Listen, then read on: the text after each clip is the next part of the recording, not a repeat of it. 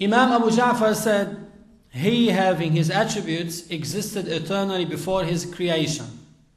By creating them, he did not gain an attribute which was not his before creating them. As he having his attributes has been in eternity, so he will forever remain. The self of Allah subhanahu wa ta'ala is eternal, that is without a beginning. He is attributed with perfect attributes which are eternal. It is confirmed textually and mentally that Allah is eternal. In the Quran, it is mentioned هو الأول والآخر which means He, Allah, is the eternal and the everlasting. Had Allah not been eternal, He would have been a creation who needs a creator. And this contradicts Godhood. Similarly, all of Allah's attributes are eternal, or else Allah Himself would be created. After Allah created the heavens, earth, angels, and other creations, Allah did not acquire an additional attribute. This is very important to understand. This is the creed, the belief of Ahlul Sunnah wal Jama'ah as stated in the book Al-Aqidah al-Tahawiyya, the creed of Abu Ja'far al-Tahawi.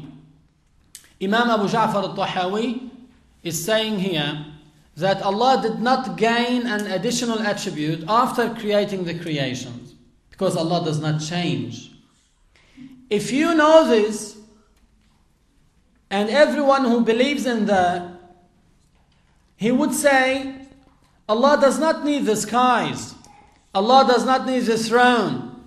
Allah does not need the seven heavens. And Allah does not need the earth. So Allah Azza wa Jal, after creating these things, Allah did not change. Allah did not gain an additional attribute. Those who say that Allah is above the throne by Himself. They believe that Allah is above the throne by Himself. They say Allah is attributed with aboveness.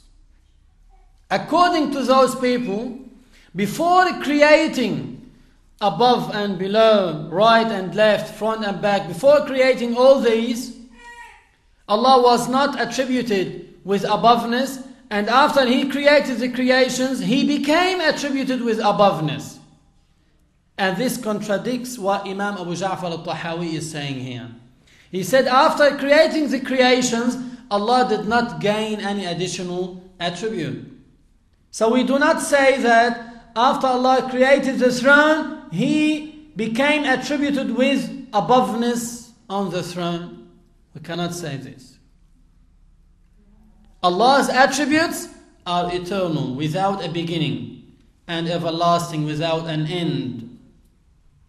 If one of Allah's attributes is not eternal, that means if one of Allah's attributes has a beginning, that will entail that the self of Allah has a beginning. That's why the scholar said all the attributes of Allah subhanahu wa ta'ala have no beginning. You acquire some more attributes in your life. When you were a little child baby, you didn't know how to talk. Then you acquired this attribute, you started talking. So you gained an attribute that wasn't for you before. You started walking, so you gained an attribute that wasn't for you before. This is a sign, an indication that you are a creation. Allah Azza wa is not like the creations.